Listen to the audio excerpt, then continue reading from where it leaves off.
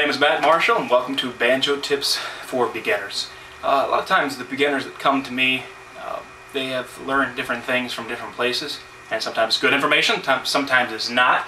But uh, what I want to just teach you today is a nice soft uh, approach, uh, easy approach I should say, to the roll, right hand roll and um, you know the varying degrees out there about what to do with your right hand. But I just want to give you something that maybe you can practice and free up your right hand a little bit more. Uh, picture, if you would, with me, uh, putting maybe a golf ball to a, a plum size in your hand, and you're kind of holding it, but you're not really gripping it. And that's the kind of, we call it a claw or a C position.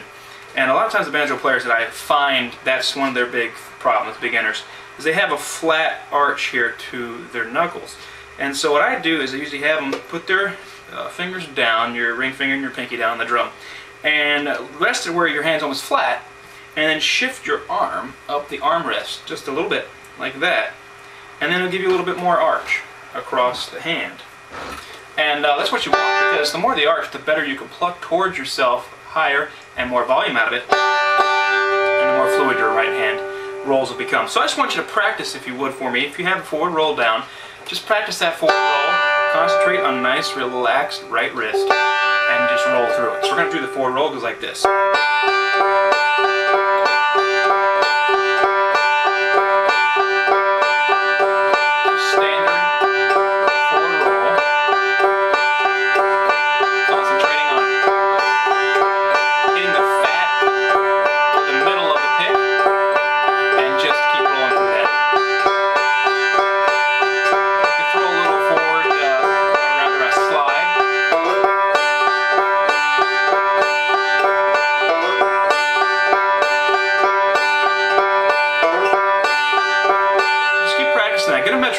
That metronome is the enemy and the friend of all banjo players.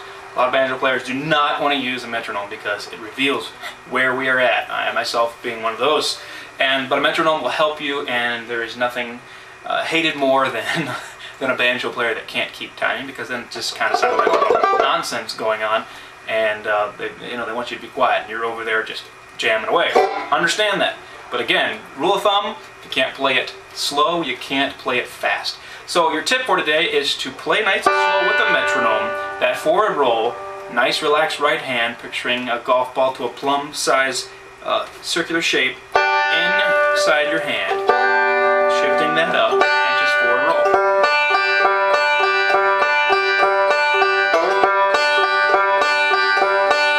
Hope you can use that, and uh, maybe you'll get a little better today on your banjo. It'll be a good time.